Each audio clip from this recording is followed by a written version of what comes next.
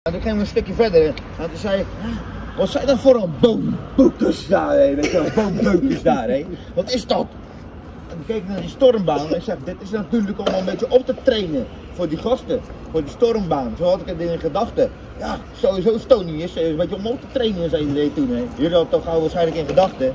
Dat is sowieso een stam van ongeveer 90 à 100 kilo. Laat maar even kijken wat ik kan, weet je wel. Dan deed ik al zo. En dan ging ik zo, godverdomme, dit is er een blok, joh. En op een gegeven moment, dan had ik mijn handen, weet je wel. En toen begon het al snel, weet je wel. Toen zei ik, hé, weg met dat blok, een was van hier, hé. En dan pakte hij, oh. En dan zie je dat blok wegvliegen daar, hé. Nog een keer Kingse dat gehoord. En dan bakte ik dat blok op. En toen deed ik deze. Had ik nog handen. Blok. En toen heb ik een beest, als, als een beest heb ik hem weggegooid.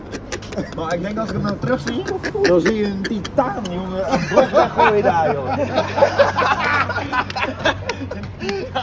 Ja, man.